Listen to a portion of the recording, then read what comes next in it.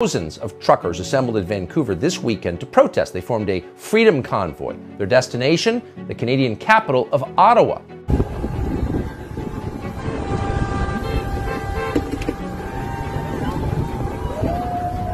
We want two things. We want to get rid of the vaccine mandates and the passports.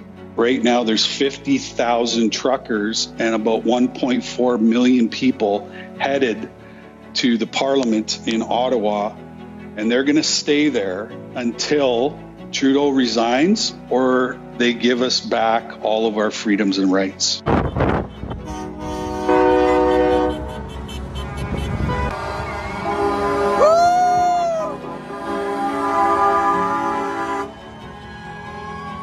You also have to look at the livelihood of people, and that's what they're not doing. We've been living in this country for so long, and we have certain rights and freedoms that our veterans fought for, and one man is taking it away.